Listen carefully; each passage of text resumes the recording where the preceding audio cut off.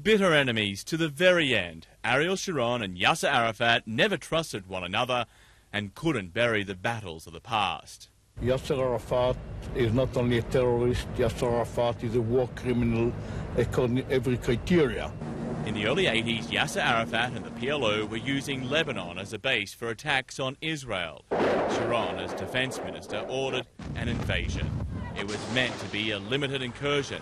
Instead, he sent Israeli troops all the way to Beirut. He came here only for one purpose, to destroy the terrorist PLO Palestinian organizations.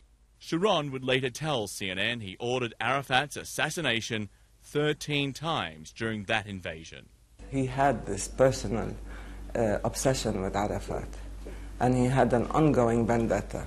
But his old nemesis survived. Ultimately, under a ceasefire deal, Arafat and his men were allowed safe passage to Tunisia. He always regretted that he let him go away in, in Beirut, because uh, at that moment, uh, if Arafat were to be neutralized, uh, he thinks that history would have been uh, would have taken a different course. Decade later, the Oslo Peace Accord would see Arafat's return to the West Bank. Sharon always considered the agreement a mistake. At the Wye River peace talks in 1998, as foreign minister, Sharon refused to shake Arafat's hand. His refusal, for example, to shake hands with Arafat. Symbolic, it's a simple gesture, but always negating the humanity of the other, refusing to reach out to the other.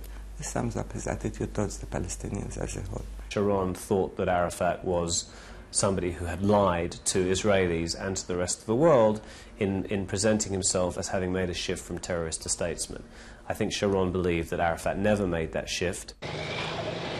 By 2002, at the height of the Palestinian uprising, Israeli tanks and soldiers had Yasser Arafat surrounded in his compound in the West Bank city of Ramallah.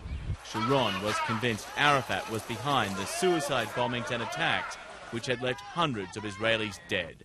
Arafat always denied it, bound by a promise to the United States that he wouldn't kill the Palestinian leader.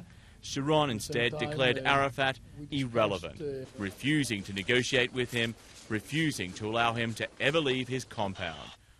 But by the end of 2004, Arafat fell gravely ill, was flown to Paris for treatment, and there he died. Sharon said it was an historic turning point, perhaps a new chance at peace. And now, with the passing of Sharon as well, these two men will share one thing. Neither came close to achieving a lasting peace between the Israelis and Palestinians. John Vause, CNN, Jerusalem.